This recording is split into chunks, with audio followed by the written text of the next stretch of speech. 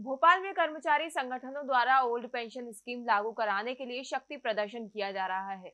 कर्मचारी संगठनों की मांग है कि नियुक्ति दिनांक से सेवा अवधि की गणना के साथ पुरानी पेंशन बहाल की जाए और कर्मचारियों के हितों की रक्षा की जाए। चुनावी साल है और जनता अपनी मांगों को लेकर धरना प्रदर्शन किए जा रही है।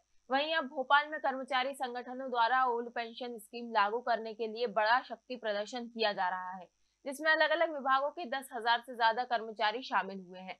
कर्मचारी संगठनों की मांग है कि नियुक्ति दिनांक से सेवा अवधि की गणना के साथ पुरानी पेंशन बहाल की जाए और कर्मचारियों के हितों की रक्षा की जाए आपको बता दें, कर्मचारी संगठनों की तरफ़ से मुख्यमंत्री शिवराज सिंह चौहान को पत्र लिखा गया है, जिसमें कहा गया है कि वर्तमान में विधायिका तथा न्यायपालिका दोनों पुरानी पेंशन स्कीम उन्नीस सौ बहत्तर का लाभ ले रहे हैं तो फिर कार्यपालिका अर्थात केंद्रीय कर्मचारी और अधिकारी इस योजना से वंचित क्यों हैं?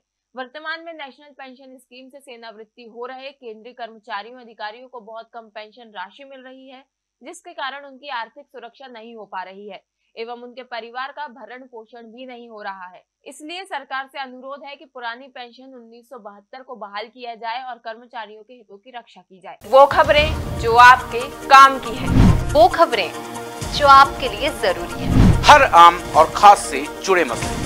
हर मसले का सटीक विश्लेषण। हम करते हैं सत्य का अन्वेषण। दखल न्यूज़। आपके हक में।